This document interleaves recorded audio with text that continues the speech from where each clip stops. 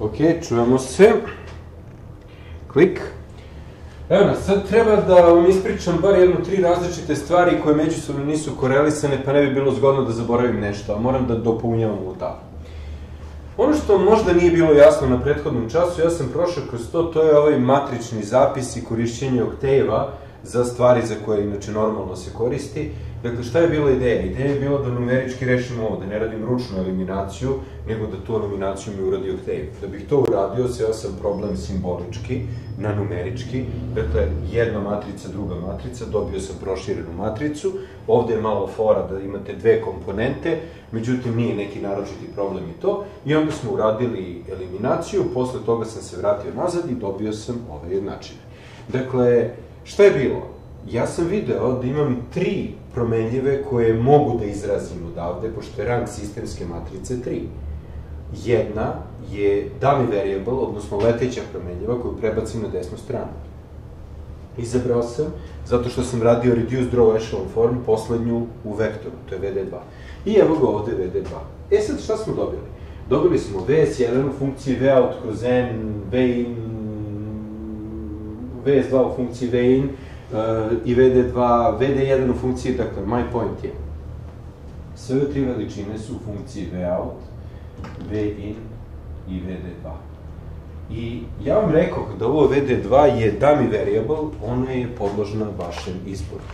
Ok, nije baš sa svim tako. Jeste podložna vašem izboru, međutim, taj izbor je potpuno neograničen po ovoj šemi. Ali ta šema ima diode zamenjene otvorenim vezama a diode nisu otvorene veze. I one vam nešto ograničavaju. Šta vam ograničavaju?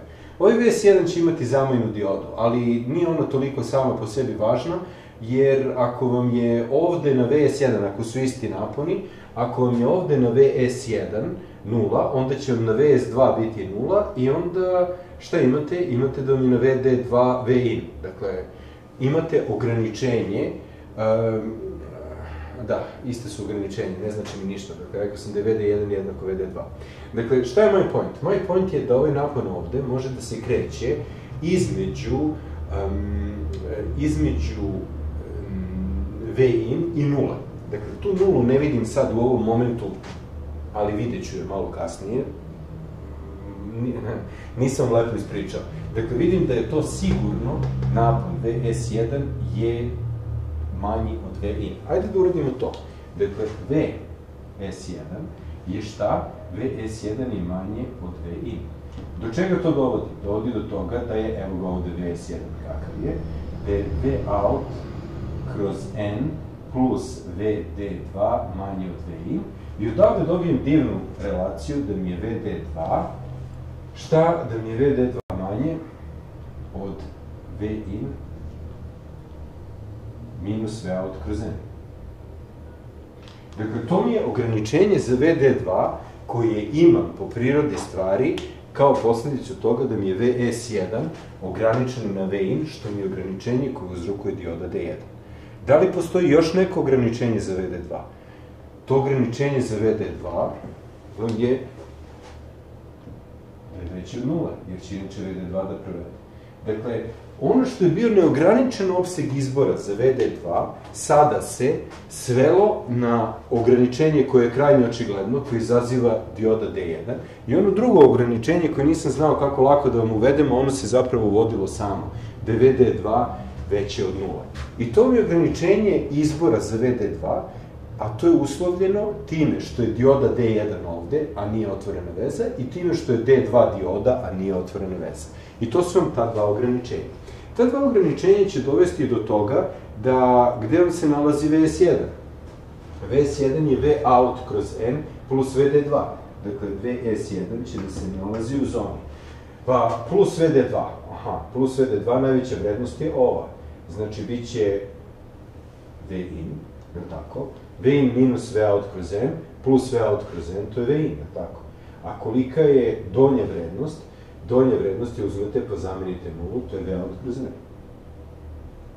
Zašto V out kroz N? Pa pogledajte, ako bi vam VS1 bilo jače od V out kroz N, onda bi vam provela dioda D2. Na isti način možete da izvedete i ograničenje za VS2. VS2 će biti između V in i V out. kroz n, što je logično jer smo pretpostavili da je VD1 jednako VD2, i iz toga smo dobili kao rezultat da je VS1 jednako VS2. Ok, to je to. Dakle, kao što vidite, nelinarna ograničenja uskaču u igru. Dakle, nije više samo čista matematika, Platonov svet ideja gde je ovo otvorena veza, gde je ovo otvorena veza. Otvorena veza je samo pod određenim uslovima model diode. Ubacili smo ta dva uslova, ovaj uslov nam je generisala dioda, generisala dioda D1, ovaj uslov nam je generisala dioda D2. Prema tome, D2 je napon koji možete da birate samo određenom poslom. Čekajte polako, šta to znači da birate napon? Pa vi ga ne birate. Prvo, vas je potpuno baš briga koliki je taj napor. Bitno vam je da je ograničen, da neće ništa značajno da se desi tu, da neće da bude nikakvih eksplozija. To je jedno. Drugo, ovo je zona koju možete da očekujete prilikom merenja. Dakle, ti naponi što su označeni ovde ljubičastim, nisu čvrsti naponi. Ako uzmete, zakačete se ovde, promenit će se. Ako priđete rukom, promenit će se. Dakle, poenta je da ti naponi su naponi uslovljeni parazitnim elementima jer imate deo kola koji visi u vazduhu. I onda koliki je potencijal ove tačke u odnosu na ovu, to vam je integral nekakvog elektrostatičkog potencijala ili kakvog već, šta već imate u datom trenutku i šta vam paraziti odrede u datom trenutku. Ovo je stvar koja je potpuno uobičajena u energetskoj elektronici i vi morate toga da budete svesni kad radite u praksi, ako radite u praksi. Dakle, imate napone koji su čvrsti, to mi je napon na kondenzatoru, to će vam biti um, napon na ovom, u continuous conduction modu, napon na sekundarnom transformatoru. Imate napone koji zapravo nisu čvrsto definisani, koji su bude nešto šta bude. Kakav je potencijal ovog flomastera u odnosu na zemlju? Pojma nema. Uzmete pa izintegralite električno polje pa ćete da vidite šta će da bude čas jedno, čas drugo. Ok, to smo završili. Dakle, to je problem, e da, to nisam vam rekao, To je pogrešno napisano, do duše toliko ofrlje napisano da je teško reći da je pogrešno. Dakle, ima jedna jednačina kod vas na strani 23 i ta jednačina nije dobra jednačina, gde to piše jedna polovina vein, to je sledeći konvertor koji ću da vam pričam, to je forward konvertor, dakle, ova jednačina se ne odnosi na ovaj konvertor, nego na neki drugi. Jednog dana možda i ovih dana ću da popravim to u skripti da vam tu skriptu okačim, ali sam hteo još nešto da izmenim, pa onda kad imate više toga u planu da izmenite, ta izmena se desi nikad. Dakle, objasnio sam šta je problem sa raspadnutim grafom. Šta je novo ovde, kvalitativno novo u odnosu na to što ste imali do sada? Novo je što vam se graf mreže raspada ne na dva dela, sada nam se raspada na tri dela. Vidjet ćete posle šta se događa kad se raspadne na četiri dela i tako dalje i tako dalje. Potpuno normalna, potpuno običajena stvar u energetskoj, potpuno običajeno da imate kolo koji ima beskonačno mnogo rešenja. Ok, to smo završili. Ovo je nova fora koja je bila inspiracija trenutka, povezana uglavnom za energetsku elektroniku 2, mislim da možete da se snađete kroz to. Ok, mislim, gore bi bilo da sam uzeo da vam ovo ručno rešavam, jer bi onda to trajalo ceo čas nekih dosadnih e, izvođenja i linearnih transformacija vrsta, linearno kombinovanje vrsta. To je bila jedna od tri teme koju moram da ispričam. Jedna tema koju sam već bio zaboravio je ova, naranđasto ograničenje. Ajde da rešimo sada pitanje naranđastog ograničenja. Pitanje naranđastog ograničenja kaže da meni V out kroz N mora da bude manje od V in, dakle ovo V out kroz N, da mi ne bi provele D2 i D1 i vraćale nazad energiju u mrežu. Dakle, tu nastao bi problem u mrežu, u vein. Dakle, ja stalno imam osjećaj da je tu mreža 220 V dvostrano ispravljena sa kondenzatorom, zato što je to najčešća primjena ovog konvertora. Ovaj konvertor se uglavnom za to koristi. Ispravite mrežu na 325 V i onda posle toga spustite na neko pomoćno napajanje od 5 V ili tako nešto, zbog velike razlike u naponima 325 na 5, recimo ako je 3.3, to mi je već 100 prema 1, onaj primer koji sam već davao. Dakle, koristi se transformator, morate da imate galonsko razdvajanje, sve se lepo složilo za primjenu Flyback konvertora. Pošto je visok napon, onda ne, ne želite da imate pre napone na prekidaču, pa onda baš zbog toga se radi sa dva tranzistora, dakle, to je tipična aplikacija. Rekoh ograničenje. Šta je bilo, šta je pisalo negde na nekoj od tabli ovde? Na nekoj od ovih tabli je pisalo da je V out jednako. Čekajte, pošto je to bilo naranđasto ograničenje, da bude i dalje naranđasto, nek sve bude naranđasto. Dakle, pisalo je da je out jednako MD sa 1 minus D puta V in. Dakle, to je bilo ovde negde izvedeno na tabli i žao mi je, table su nam ograničene, to je jedan dragocen resurs koji fakultet ne može da ima. To jest, ja ne mogu da imam u svojoj kancelariji, a tamo gde ne mogu da snimam je potpuno sve jedno da li ima, a i nema ni tamo. Dakle, To je to. Imamo ograničenje V out kroz N. Aha, aha, aha. Dobro. Koliko je V out kroz N? V out kroz N je jednako podelim sa N. D sa 1 minus D puta V in i to mora da bude, evo ga, manje od V in. Ovde piše manje. Tako. Šta je V in? V in je ulazni napon koji je veći od nula. Mogu da uzmem da skratim. Dakle, D sa 1 minus D je manje od 1. Dakle, D je manje od 1 minus D. Zato što je 1 minus D između 0 i 1. Dakle, neću baš sada da uzimam nulu kao slučaj, jer mi onda nastane problem ovo ide u beskonačnost, ne ide, ne ide u beskonačnost, ne, jedan, da, jeste, ide u beskonačnost, zato što je 1 minus d, a ne d, ograničen. Dakle, e, između 0 i 1 strogo, ograničen se na to i onako me slučajevi granični ne interesuju, dakle, 2d manje od 1, odnosno d manje od 1 polovine. Dakle, pogledajte šta imate ovde imate jedno ograničenje koje nikakve veze nema sa uslovima u kolu sa volt second balansom, ampere second balansom. Ono ima veze samo sa diodama D1 i D2. A te diode D1 i D2 ne vode nikad struju i mogli bi da budu izbačeni iz kola. Zaista, vi možete da izbacite diode D1 i D2 iz kola, samo što to nije nešto osobito pametno. Zašto nije pametno? Zato što se onda ponovo vraćate s naber. A diode D1 i D2 upravo treba da vam zamene snager. Treba da vam prospu energiju koja je uskladištena u rasvitnoj induktivnosti i to će da je prospu tako što će da je vrate nazad u VI. Ok. To je naša sledeća tema. Dakle, zbog postojanja dioda D1 i D2, koje su snaberske, vama se uvodi novo ograničenje koje kaže da duty ratio mora da bude manji od jedne polovine. To je novitet koji do sada niste imali. Ovakvo nametanje ograničenja na duty ratio niste imali. Ok. Ova donja šema mi više ne treba. Zato što je ona iskorišćena za rešavanje kola koji ima beskonačno mnogo rešenja. Dakle, za dobijanje tih rešenja i da vidite da postoji jedna dummy variable koja je bila u datom slučaju D2 preko koje smo sve izrazili. Ono što mene sada interesuje jeste uloga dioda D1 i D2. Šta se događa sa diodama D1 i D2? Događa se to da kada isključite prekidače, negde mora da se isprazni rasipna induktivnost. Rasipna induktivnost, evo je ovde, L sigma, se prazni kroz diode D1, D2. I onda šta imate? Imate situaciju da, aha, dobro, malo počne da se prazni rasipna induktivnost i onda provede dioda D, dioda D. Aha, aha. Čim ona počne da vodi, šta se događa? Čim ona počne da vodi, nakon V out, plus minus, dođemo ovde V out. Ovde vam zaista dođe plus, ili plus ide na netačku, jeste, plus minus, V out kroz N, koliko vi to možete da vidite, obzirom na rezoluciju i na font. To je već ono što je pisalo tamo. I šta se onda događa? Događa se to da imate onaj ostatak napona. Dakle, šta je taj ostatak napona? Taj ostatak napona vam je V out kroz N plus VD2. Vidite, to je to, ta razlika koja postoji.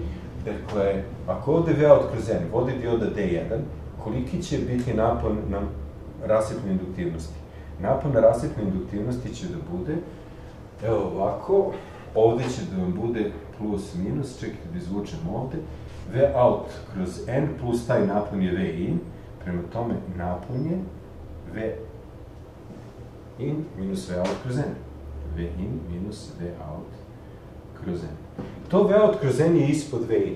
Prema tome, taj napon je pozitivan. Taj pozitivan napon koči struju koja ide na ovu stranu. Dakle, ovo je IL sigma. Aha, aha, aha, aha. To znači da je D i L sigma po dt, pa još puta L sigma, jednako naponu na tom L sigma, a on će da bude minus V in minus V out kroz N. I šta možete odatle da dobijete? Koliko vam je delta i L sigma? I L sigma početna vrednost vam je I1. Dakle, provešće vam diode. Gde je stanje dioda? D1, D2, ja sam pisao nekde. Evo ih. Oni će kratkotrajno ovde da provedu. I ovo je flomaster za bacanje u džubre. Ovaj se nadam da nije mada ne obeća, a ne, dobro je. Ovde će kratko trenu da provedu diodu. koliko će struje da provedu, ja sam označio strelicu ovde. Vršna vrednost te struje će biti I1. Dakle, koliko je IL sigma? Dobit ćete ovako, L sigma, pošto ovo konstantan napon, to će biti delta IL sigma sa delta T. A delta T je vreme pražnjenja rasjetljene aktivnosti, je jednako minus V in minus V out kroz M, što je jednako što je jednako L sigma. E sad ovako, delta L sigma, počeli smo sa I1, završavamo sa 0. Kroz delta T, odakle dobijete da mi delta T jednako L sigma puta I1 kroz kroz šta? Kroz e, polako, polako, polako, a ne, pardon, krajnja vrednost minus početna vrednost, ne početna minus krajnja, krajnja, samo sekund, ovde da okrenem, biće 0 minus i 1, 0 minus i 1, izvinite, greška, događa se, i onda, evo sad vidite šta će se desi, L sigma i 1 kroz V in minus V out kroz M. Dobro, izbori smo se s ovim. Šta je ovo? Ovo mi delta T. Tokom tog malog vremena delta T, evo ga ovde, delta T, će da vam provode diode D1 i D2. Međutim, dijagram struje i D1 i D2 ovde će da izgleda drugačije. Kako će da izgleda drugačije? Zašto kažem uopšte da će da izgleda drugačije? Pogledajte, ovde ću da slobodim prostor za pisanje toga, međutim tu moram da obrišem lepo tablu. Sada.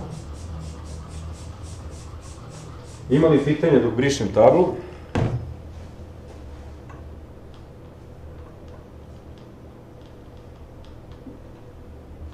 Okay.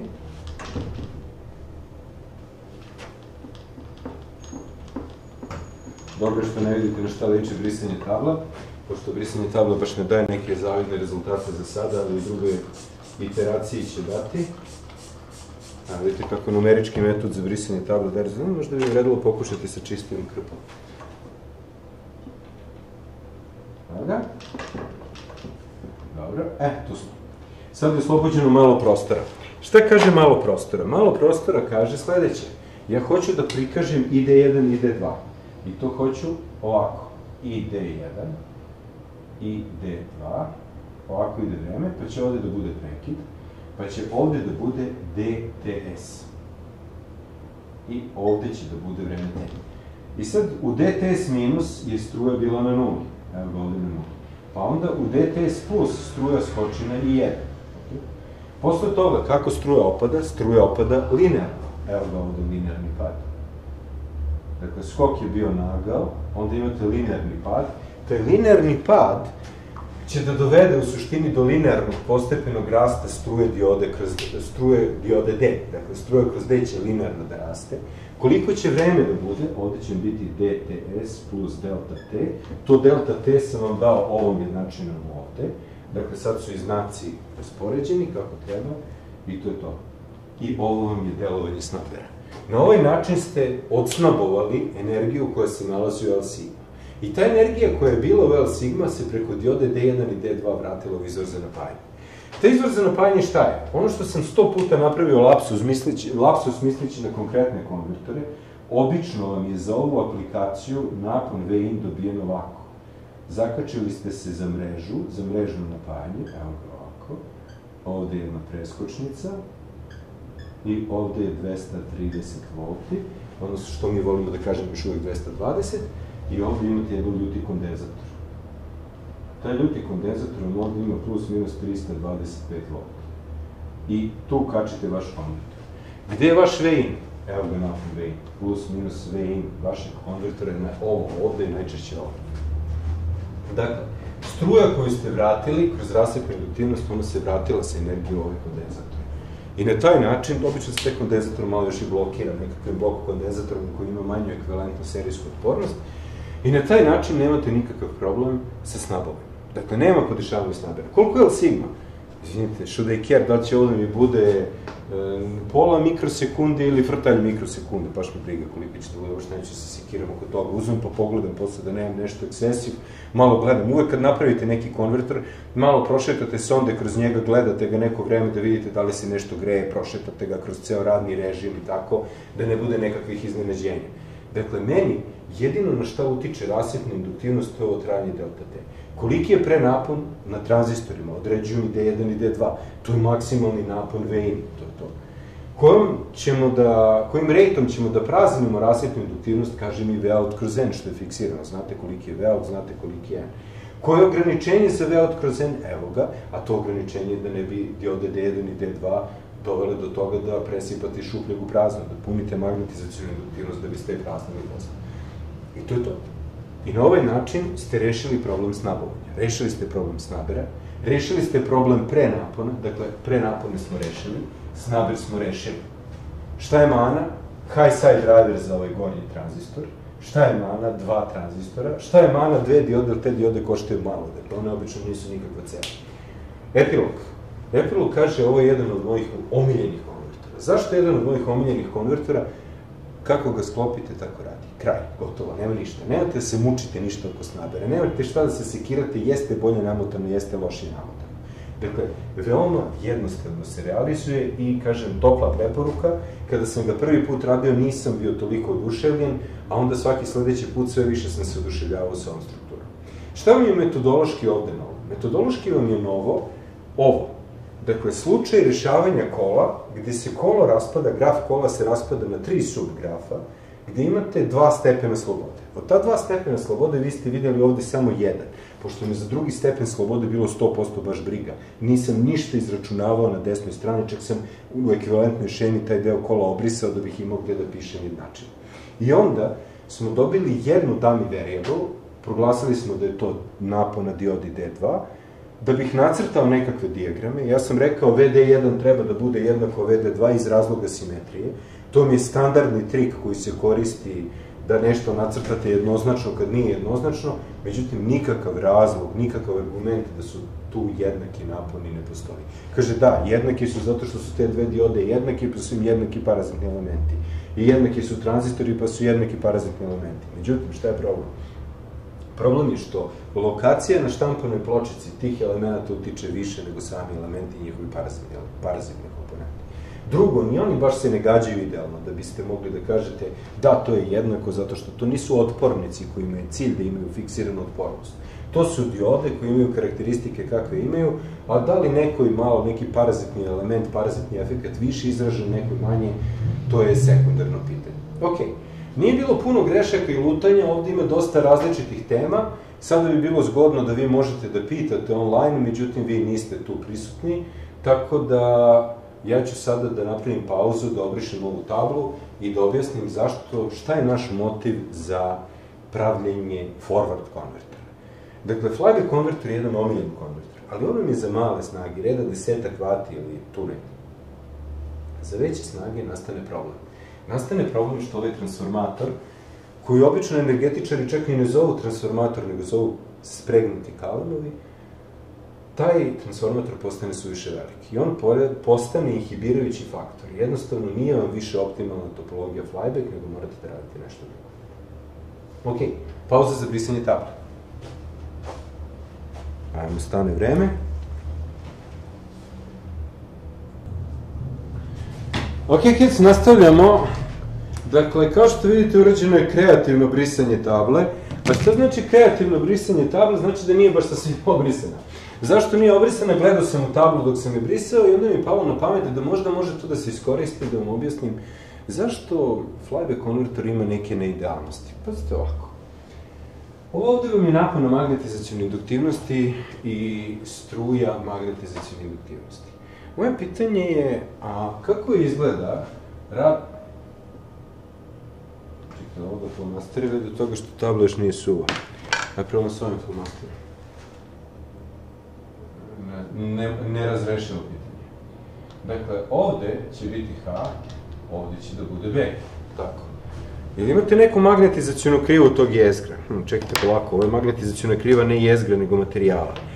Magnetizacijona kriva materijala mi baš i neće biti naročito potrebna. Ovde čekajte da ja... Excuse me, da vidimo šta ćemo da radimo, sa čim ćemo da pišemo. Ovo mi baš nije nešto mnogo zgodno. Zašto? Zato što ovakvi kalemovi, odnosno transformatori, koji imaju magnetizacijonu induktivnost za koju mora, mora da se zna kolika je, imaju nešto što im je neophodno, a to je magnetski procep. Dakle, vaš feromagnetik mora da ima vazdušni procep, air gap. I taj procep je karakterističan po tome što je u njemu uskladištena magnetska energija. Ovde obično smatramo da mi relativno teži beskonačnosti, dok se drugačije ne kaže, i imate gustinu energije. Kako ćemo da uh, označimo gustinu energije, nemam pojma, ali to je gustina energije, gustina energije je jednaka jedna polovina b na kvadrat sa mi nula. Toga se naravno sećate sa osnova elektrotehnike. Naravno, vi ste svi fizičari u duši i to se sa radošću sećate sa osnova elektrotehnike te formule. Ok, to je to. E, zašto mi je ovo palo na pamet? Palo mi je na pamet zato što taj air gap je problem. On će vam biti, koliko god on nevelik bio, glavni razlog zašto vaša radna tačka nije na povoljnom mestu i zašto je vaš transformator kod flyback E, konvertora velik. Hm, da vidimo prvo šta je šta. Dakle, B i H mi ne odgovaraju. Šta mi ovde B, šta je H? Šta se događa u materijalu? Should they care about that? Ako je mi relativno um, beskonačno, to znači da mi je H nula, dakle imam samo B. Prema tome neću da koristim BH krivu, nego ću da koristim nešto drugo. Koristit ću umesto H magnetopobudnu silu. Ta magnetopobudna sila će da bude, kako smo označavali, valjda ste označavali sa F, a ovde neka bude fluksu jezgru, je tako? Okay. Fluksu jezgru, šta je fluksu jezgru? Čekajte, ovo je onaj flomaster koji ne volim. Izvinite, nisam se pripremio sa flomasterima da nađem neki koji volim da piše i kako piše, ovaj da kažem da je podnošljiv za jedan čas i za sledeći čas definitivno mora nešto da se radi na takvom flomasteru. Ok, dakle, magnetopobudna sila, mhm, -huh, magnetopobudna sila, imate induktivnost Lm i ona ima koliko navojaka. Sad je problem u tome što je 1 prema n bio prenosni odnos, neka tu bude veliko n. To je broj navojaka tačan kakav. Međutim, vi znate da je lambda jednako n puta fi, pa će vam stoga diagram koji je f, a šta će biti f? f će da bude magnetopobudna sila, a ta magnetopobudna sila će da bude f koja je jednaka n puta struja magnetizacije ILM, to će vam biti proporcionalno, aha, aha, ovo je proporcionalno, dakle šta je F? F je, ne mora da bude proporcionalno, može da bude baš jednako, tačno. Dakle, F će da bude jednako i LM kroz N. O tako? Jeste, jeste, i LM kroz N. Da, dobro, to je to. A, što više n-ova, dobro, dobro, dobro, dobro, i LM kroz n, to je to. A s druge strane, što imam kao flux? Flux. Ne moram da označim kao flux, nego mogu da označim ovde da ovaj flux jednak lambda kroz n. Dakle, pogledajte, ILM kroz n, lambda kroz n, to je ono do čega sam hteo da dođem. Dakle, malo srednjoškolske matematike, u što je i ova krpa već postala odvratna, dakle, sredstva za pisanje na ovom času su već počela da me izdaju, ne samo za pisanje, nego i za brisanje. Dakle, ja sada ću da sklonim ove n-ove. I onda ću da samo taj diagram prebacim u diagram koji je meni električno značajniji. Ovde će biti lambda, a ovde će biti IL. Da li ste ovde negde već imali? Pa jeste, kod transformatorske sprege kod pojačavača. Ta transformatorska sprega kod pojačavača danas za audio pojačavača je potpuno irrelevantna. Za neke visoke frekvencije još uvek može da se naći. Međutim, ona je glavna, tu je glavno razumevanje transformatora koje nam treba za ovakve situacije. I sad, šta imam? Šta mi je ovo lambda? Lambda, VLM je jednako D lambda po dt. Aha, dakle, ovo lambda mi je integral napona VLM-a, a ILM je ILM. E sad pogledajte, gde se ILM menja? Od I0 do I1. Kako izgleda karakteristika? Karakteristika magnećenja izgleda otprilike ovako. I onda zavisi od reluktansa i jezgra. Ok? To je to. Ovo ovde i ovo ovde vam je i LM zasićenja i ovde će biti minus i LM zasićenja. Od čega zavisi to ILM zasićenje? Od, toliko, od toga koliko je jezgro. Što veće je jezgro, to vam je veća struja potrebna da ga zasiti. I šta vi morate da imate? Vi morate da imate ovo. Tako. Vi morate da imate da vam se radna tačka kreće u zoni predzasićenja.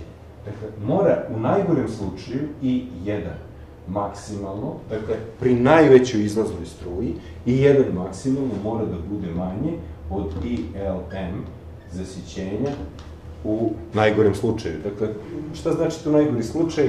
Ovde ne znači puno taj najgori slučaj zato što um, imam air gap, imam vazdušni procep. A taj vazdušni procep mi stabiliše karakteristike jezgre. Da ne idem sada u te detalje i dobijete prilično jasno definisanu krivu koja ne izgleda ovako, malo je zaobljena, ima nekakav histerezis, dakle nisu ovakvi špicevi jasni, ali to je ono što imate kao rad magnetnog jezgra. Dakle, feromagnetskog jezgra. Šta je ono što sam hteo da vam skrenem pažnju? Hteo sam da vam skrenem pažnju da vaša struja magnetizacije drži jezgro stalno namagnećeno i da se radna tačka jezgra kreće u zoni stalne namagnećenosti u jednu stranu. Dakle, stalno vam je jezgro namagnećeno u jednu stranu i šta je razlog tome? Razlog, šta je posledica toga? Posledica toga je da jezgro mora da bude veće nego u slučaju da se radna tačka kreće, na primjer, ovde. Jer kad bi se tu kretala radna tačka, vaš lambda bi mogao da bude lambda maksimalni bi bio manji. A šta vam je lambda? Lambda vam je jednako n puta phi, što je jednako n puta b puta area feromagnetika. B maksimalno, zna se koliko je za zasićenje, N je takav kakav je, area feromagnetika može da se smanji ako smanjite lambda maksimalno. I to je prednost koju hoćemo sada da ostvarimo i hoćemo da izbegnemo nekako energy storage transformatora. Hoćemo da se transformator ponaša kao idealni transformator. Da on nema energy storage u sebi, nego da samo prođe energija kroz njega, dakle da se ne zadržava u njemu. To omogućava da transformator bude manji. Ovo kao objašnjenje je kvalitativno i ono može da bude ono podložno šibicarenju zato što nemate kompletnu sliku još uvek. Ali ćete imati kroz nekoliko nedelja kada vam budem ispričao kako se projektuju transformatori i kako se projektuju prigušnice, odnosno kako se projektuju kalemovi. Ovo je sada samo motivacioni primjer koji treba da vam kaže da je moja sada ideja da na neki način ne koristim spregnute kalemove i ne koristim transformator kao energy storage komponentu, nego da koristim transformator, da mi je cilj da koristim transformator kao idealni transformator, da samo energija prođe kroz njega. Međutim, dok sam ja pripremao ovo predavanje, a to je značilo da uploadujem prethodno predavanje, popijem kafu i razmislim, naravno nisam razmišljao o predavanju, nego sam razmišljao o nečem drugom. Ok. Postavlja se pitanje šta je ovo? Ovo je gustina energije. Dobro. Ovde imate LG. Šta je to LG? LG vam je razmak, air gap, dakle koliki vam je vazdušni procip. Takođe, imate površinu poprečnog preseka ovde, da ne menjam flomaster, pogotovo ne za neki koji ne, ne piše, i ta površina je AFE. AFE puta LG vam je volume of the gap, VG. Dakle, to vam je zapremina vašeg air gapa. Kolika je gustina energije? Gustina energije je jedna polovina B na kvadrat sa minulom.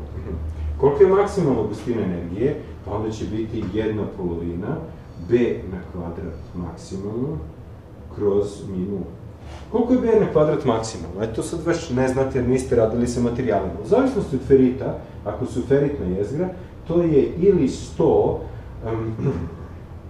militesla, ili 250 militesla za neki malo drugačiji tip ferita, ili ako hoćete hladno valjane limove koje možda i imam negde, dakle, u zavisnosti od toga kako je jezgro, ferite sam vam uglavnom pokazivao hladno valjene limove, ej, evo ga transformator sa hladno valjenim limovima.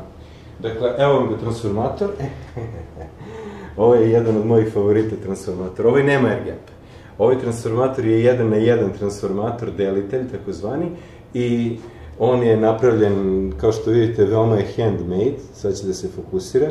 Vidite kako je urađena izolacija. Očigledno ta izolacija nije urađena kao izolacija, nego više kao nekakva zaštita a ta zaštita je teflon traka za dihtovanje u vodovodima i kanalizacijama, dakle za vodovode, teflon traka za dihtovanje. Namotan je transformator, ova šelna je iz domena, šelna to je ovo ovde, i ona je za Baltic klozetske šolje takođe nenamenski iskorišćena u ovom transformatoru 1 na 1, a poenta je bila ova. Dakle, to je hladno valjani limovi i tu može indukcija da vam ide do, na primjer, 1 Tesla. Dakle, ovo može da bude, može da bude čak i 1 Tesla. Dakle, to je crni slučaj. Čekaj, koja je bila, bio je crveni flomastir radi. Ono što je meni sad palo na pamet je sledeće. Vi ćete verovatno da me smestite u lazu, ali kaže ovako, dobro.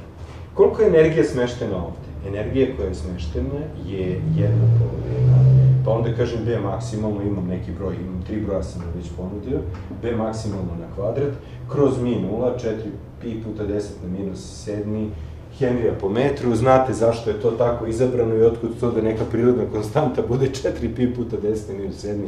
Naravno, nije to samo prirodna konstanta, nego to je malo bilo podešenih stvari da bi se mere usaglasile. Pa onda to pomnožim sa AFE puta VG i to mi je jednako čemu? Energiji koja vam se nalazi u RG. Dakle, gustina energije puta A čemu je to jednako? To je jednako c na kvadrat puta masa koju je uzrokovala ta energija koja je smeštena u RG. E, ipak, ipak sam se uzdržao pa nisam uzeo da izračunam koliko je mase povisila se e, koliko se povisila masa usled postojanja polja u tom RGP. Ovo je za relativističke fizičare i teoretičare fizike da se zabavljaju sa tim da li je povećana masa ili nije povećana masa, ako jeste, zašto jeste, ako nije, zašto nije. Dakle, ajde da se vratimo na konkretnu stvar. Konkretna stvar kaže, vama je jezgro kod flyback konvertora stalno na magnetisanu. Nikada se ne prazni do nule. Šta je idealno? Idealno je da koristite jezgro kako ih koristi elektrodistribucija. Da ih terate od jednog zasićenja do drugog. Najbolje ćete da iskoristite jezgro ako radnu tačku vozite ovako, pa je posle vraćate nazad i na taj način se najbolje iskoristi jezgro kod flyback konvertora prilično neoptimalno koristite jezgro. Zato su napravljeni drugi konvertori, a jedno genijalno rešenje koje koristi pola jezgra se zove forward konvertor i to je naša sledeća tema. Ok, pauza za brisanje tabla, ali sada zaista brisanje tabla. Ok, dok sam se ja bavio relativizmom i zabavljao sa time koliko se uveća masa RGP-a, što je, mislim, verovatno neki smešno smešan broj, I pitanje je da li je to zapravo uvećala se masa da li bi to moglo biti eksperimentalno dokazano, idemo na pravu stvar. Cilj nam je da smanjimo transformator. Setite se kako je napravljen flyback konvertor. Svi se slažu oko toga da je on izveden iz uh, flyback konvertor, da je izveden iz buck boost konvertora. Dakle, on je buck boost derived konvertor. Ok, to je jedno Drugo, da li ja mogu neki drugi konvertor da uzmem? Naprimer, da uzmem buck konvertor, i da napravim buck-derived konvertor. Buck-derived konvertori su najveći broj svih konvertora DC-DC koji se prave. I sad ćemo da napravimo prvi. To će biti forward konvertor. Tako je forward konvertor.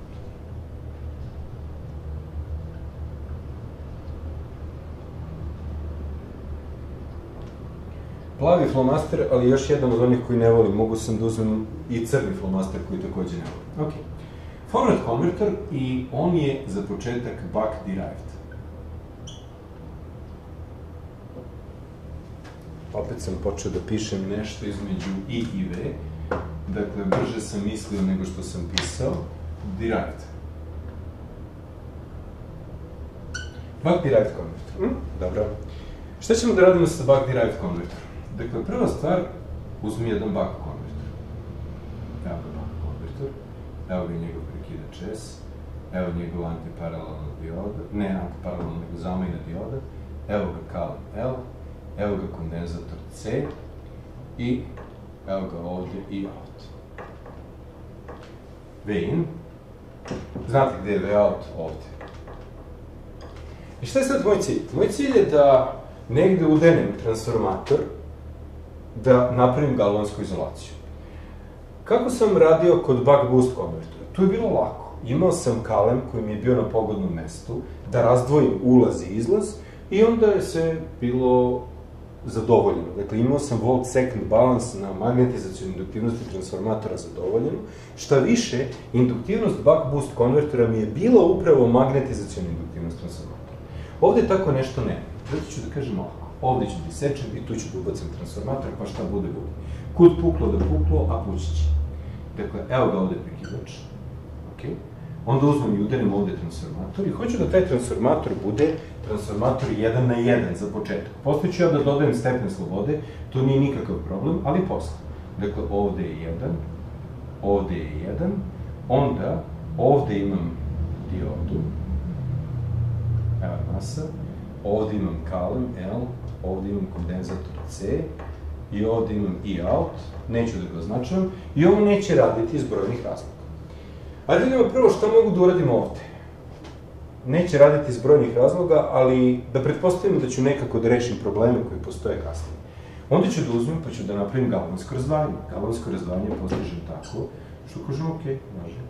Evo mi ga ovde prekidač, evo mi ga ovde primer, 1 na 1, Ovo bi inače odlično radilo, pošto je ovde struja I, I, I, S, ovo bi bila isto struja I, S, ovo je plus minus VD i ovo bi bilo plus minus VD.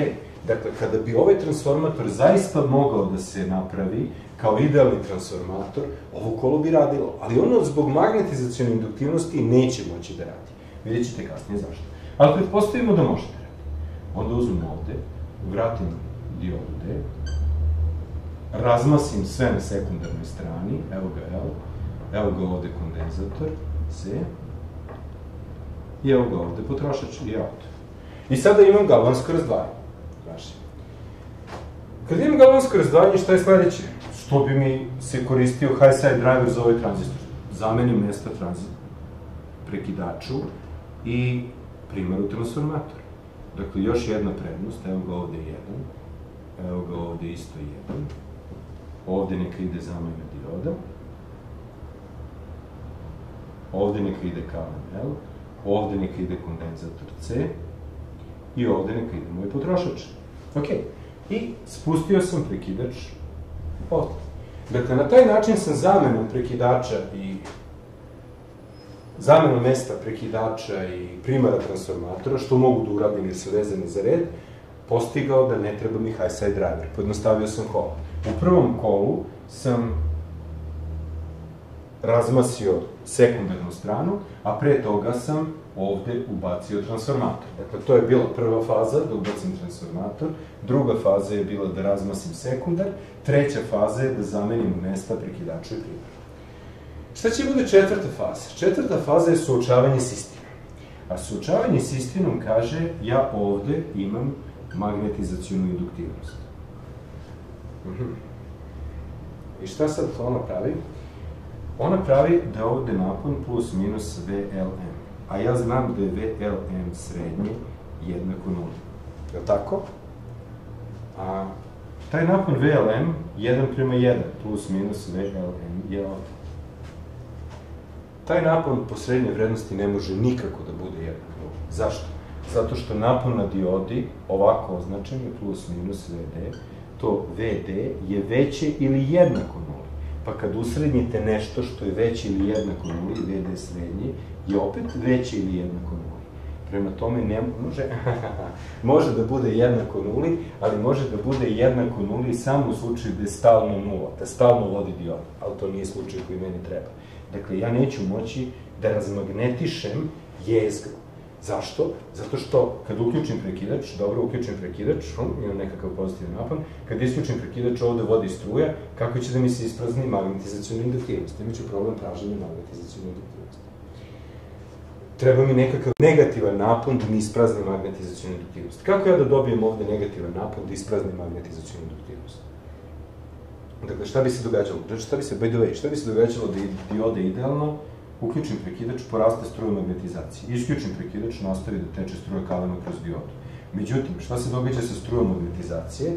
Ta struja magnetizacije koja šta, ulazi u netačku, je li tako, negde mora da ulazi u tačku, može da se vrti kao dodatna struja diodi. Onda uzmete pa uključite ponovo prekidač, pa magnetizacija struje još malo poraste. Pa tako raste, raste, raste, raste, dok na kraju transformator ne ode u zasićenje. Kad ode u zasićenje, svi namotovi postanu kratak spoj, uključite prekidač, bam, crkne prekidač. Dalje znate, zamenite prekidač. I tako nekoliko puta dok ne shvatite da prekidač nije kriv. To je inače jako česta situacija u praksi. Dakle, ovo neće da radi posao. Treba mi negativan LM kako bih mogao da ispraznim nešto što će da mi obogući negativan LM da bi ispraznio magnetizacijonu induktivnost. Pošto mi problem pravi dioda, koja pravi napon VD koji je ne negativan, dajte da ja raskačem tu diodu, da kažem, odavde može samo energija da dolazi i ja ću da dodam diodu ovde. Dakle, šta je bilo sledeći korak? Sledeći korak 4 je bilo pitanje magnetizacijone induktivnosti i problem što mi je napon na magnetizacijone induktivnosti napon diodi. Rezultat toga će da bude šema koja je ovakva. Evo ga ovde vidim. Izgleda da ovi loši flomasteri postaju bolji kada se koriste. Evo ga, jedan. Ovde će da bude magnetizacijona induktivnost Ln, koja ima svoju struju magnetizacije i Ln. Uh, savjetovao bih vas da ra razmotrite s ovim kolom bez diode šta bi se desilo. Zašto bi nastao problem? Zašto ne možete da izvršite demagnetizaciju? Ok, to je to. I šta imamo ovde? Ovde sada imam jedan. Ovde imam jednu diodu koja će da bude D1. Zamena dioda će sada biti D2. Evo ga. Ovde ide L. Ovde ide kondenzator i ovdje ide potrošač. I ovako se uglavnom izvode šeme kada vi nešto projektujete. Dakle, vi uzmete, počnete jednu šemu, pa je razrađujete, dodajete nešto, skidate nešto i tako dalje. Ok. Šta sad imam? Sada kada vodi dioda D2, ja imam napon magnetizaciju induktivnosti plus minus VLM, taj plus minus, evo ga ovde, plus minus VLM. Ako je taj napon negativan, baš me briga. On će da mi inverzno polariše diodu D1 i ona će da dopusti pravljenje negativnog Međutim, šta se desi? Desi se da struja ILM poraste do neke pozitivne vrednosti. Poraste do pozitivne vrednosti i kad isključite prekidač, ono mora negde da se vrti. Gde će da se vrti? Tako što će da se vrti kroz primar idealnog transformatora. Evo ga ovde. Dakle, izlazi iz tačke. Ako izlazi iz tačke, da biste namirili amper navojak balans transformatora idealnog, morate negde da uđete u tačku. Dakle, ovaj transformator sada je idealni transformator. Ovde ne možete da uđete u tačku, nema šanse. Dakle, kao što vidite, opet ne postoji način da izvršite demagnetizaciju jezera. E, sad dolazi genijalna stvar koja je napravila forward converter. Ta genijalna stvar je demagnetizacijni namotaj. Ubacite još jedan namotaj koji će da radi samo jednu stvar, demagnetizaciju jezera. I kako izgleda forward converter? Evo da konačno, forward konverter. On izgleda ovako. Imate ovde plus V in prvo. Pa ću sada da vam nacrtam demagnetizacijoni namotaj. Taj demagnetizacijoni namotaj energiju koja je u magnetizaciji jezgra ispali nazad u vein. Dakle, potpuno isto kao flyback sa dva tranzistora. I ovde će da bude prenosni odnos, a, prenosni odnos će da bude, sad čekajte, neće da bude tačka na ovu stranu, nego će da bude tačka na suprotnu stranu i bit će M. Dakle, evo ovako, neka bude M. Onda imam primar transformatora i ovde imam prekidač i ovde neka bude 1. A na sekundaru, evo ga ovde sekundar, neka bude N, ovde neka bude dioda, ovde neka bude još jedna dioda, dakle ovo je D2, ovo je D1, evo ga kalan, evo ga kondenzator i evo ga i out. C. E sad je ovde šta? Dakle, prvo, ovde je bio 1 prema 1 transformator. Zašto sam počeo sa 1 prema 1? Zato što mi je ovde bilo zgodno da vam pokažem, udenem ja idealni transformator gde god hoćete. Ako postoji idealni transformator, on ništa neće da promeni. Kad sam ga udenuo, mogao sam da razmasim sekundar. Kada sam to uradio, mogao sam da promenim redosled elementa. Kada sam to uradio, ubacio sam magnetizacijonu induktivnost i shvatio sam da nema nikakve šanse da demagnetizujem magnetizaciju, morao sam da odspojim diodu D2 koja mi je gušila, ograničavala mi je polaritet napona na magnetizacijonu induktivnosti. Kada sam to uradio, ustanovio sam da nemam način da ispraznim magnetizacijonu induktivnost, jer nemam način da proizvedem negativan napon. Dakle, ja sada imam način da sprečim diodu D2 da mi blokira negativan napon. Ali mi je problem u tome što uh, nemam čime da napravim negativan napon. I sad sledeći korak je da napravim negativan napon ovim ovde. Dakle, taj namotaj stavio sam da ima M uh, prenosni odnos. Inače, korektno bi bilo, ali sam već probio čas, da sam stavio ovde 1, 1, 1 u prvom koraku, a taj korak će da bude, čekajte šta je ovde bio, ovde je bio četvrti korak, ovo je bio peti korak u očiti problem, I u petom koraku smo dodali, da kažem, diode za demagnetizaciju, koju ćemo da zovemo D3, i u šestom koraku ovde će da bude M i ovde će da bude N u šestom koraku. Dakle, peti i šesti korak su nacrtani ovde. Dakle, remedi za peti korak je dodavanje diode D3 i šesti korak je e, oslobađanje prenosnih odnosa da budu N i M. Šta će da se desi? Desit će se to da kada imate struju magnetizacije, evo je ovde, i Ln, ovo će da bude Ln, ona ulazi u netečku. Dakle, mora negde ta struja magnetizacije da bi se namirio amper navojak balans idealnog transformatora. Setite se analogne elektronike koja je dizajnirana tako da energetska elektronika bude lakša zbog jače analogne, zbog tako profilisane analogne elektronike. Dakle, ovde ulazim u netačku, treba negde da ulazim u tačku, ovde nema nikakve šanse da ulazim u tačku sa strujom, zato što je noda diode vezana za tačku, netačka je vezana za anodu, dakle demagnetizacija će da se vrši kroz demagnetizacijoni namote i kroz diodu.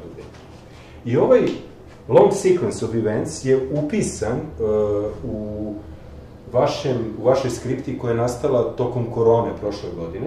Dakle, ja sam nacrtao sve te šeme i tu imate u vašoj skripti napisano, opisano celo ovo izvođenje. Dakle, sva logika je napisana upravo ovako kako sam vam je sad ispričao u vašem tekstu. I sad se nadam da vam je jasno šta je dovelo do toga, da od jednog buck konvertora dođemo do nečeg sasvim različitog, koje ima buck deo, a taj buck deo je samo ovaj deo ovde. Dakle, ako imate na izlazu L filter i zamajnu diodu, ti konvertori su buck derived. Čak zamena dioda može da bude problem, ima nekih drugih tehnika, načina da se napravi zamena dioda, može da bude greco spoj ili nešto tako ali nešto što ima ekvivalent zamajne diode uvijek mora da postoji. Dakle, to je buck derived konverter. A ovi front-endovi koji prave na izmeničan napon na transformatoru su različiti od konvertora do konvertora. Dakle, forward konverter će biti naš prvi buck derived konverter i kao što ćete videti, ovde će svašta da se događa. Imaćete magnetizaciju koja radi u discontinuous conduction modu, imaćete kalem koji radi u continuous conduction modu i niz drugih stvari, ali to je već za sutra. Ok, to je to. Malo sam bio širi ovom času zato što sam morao da ispričam priču o stored energy u air gap. A to će vam biti u potpunosti jasno kad vam budem pričao kako se projektuje transformator.